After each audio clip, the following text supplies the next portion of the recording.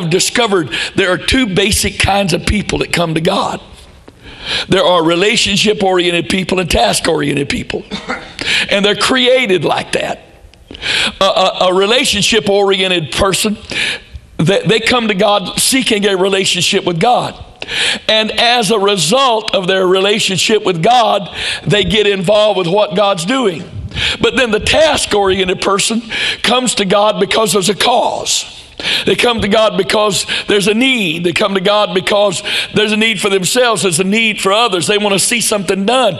But then, in trying to do that and see that accomplished, they come to the place of realizing, I can't accomplish this myself, so I need somebody else. And then, because I've got, I want to see this accomplished, and I believe this is right and truth and real, but I can't do this myself, so therefore, I've got to build a relationship with God because He's got to do this through me because I want to see this done and God wants to see this done, but it's not going to be done without a relationship.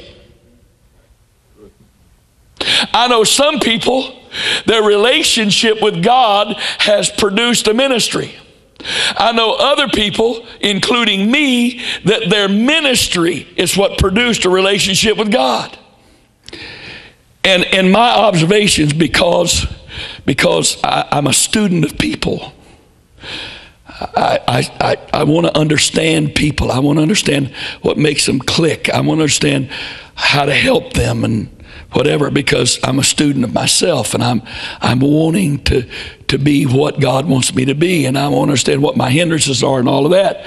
Because, because I'm a student of people, I, I, I've, I've, I've come to the understanding